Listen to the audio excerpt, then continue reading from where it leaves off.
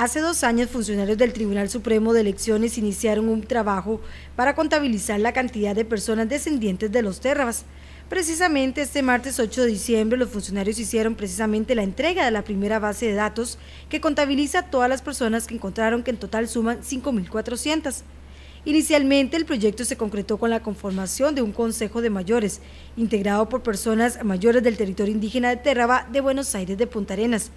Rodolfo Villalobos, asesor del Tribunal en Asuntos Indígenas, detalló que se hizo un arduo trabajo. Iniciamos con la formación de un consejo de, mayores, que es una de las autoridades tradicionales, ancestrales de la comunidad indígena. Se formó un consejo de ancianos con personas de, mayor de mayores de 60 años que son las que nos eh, daban con el conocimiento que tienen de la edad, ¿verdad? Ese conocimiento que le da la edad, nos decían quiénes eran las, personas eh, que iniciaron la comunidad Terra, quiénes fueron los ancestros, que le denominamos los troncos, ¿verdad? Los troncos, las personas mayores, mayores, mayores, que pudieron recordar ellos que fueran indígenas terras. Hace dos años, funcionarios del Tribunal Supremo de Elecciones iniciaron un trabajo para contabilizar la cantidad de personas descendientes de los terras. Precisamente este martes 8 de diciembre los funcionarios hicieron precisamente la entrega de la primera base de datos que contabiliza todas las personas que encontraron que en total suman 5.400.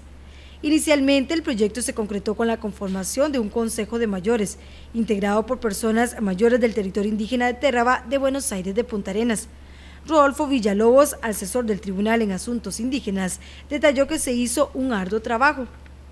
La intención era conocer y tener datos de todos los descendientes, Todas las personas en el padrón estaban por igual, sin ninguna distinción, hasta que la Defensoría de los Habitantes brindó una recomendación a la Dirección Nacional de Desarrollo de la Comunidad Inadeco y precisamente también de la misma comunidad de Terraba, que solicitó hacer esa base de datos propia en esta etnia. A partir de ese momento eh, se tomó el criterio por parte de ellos de, de, decidir que para ser Terraba y estar en la base de datos de Terraba se necesitaba ser descendiente de una de esas troncos familiares.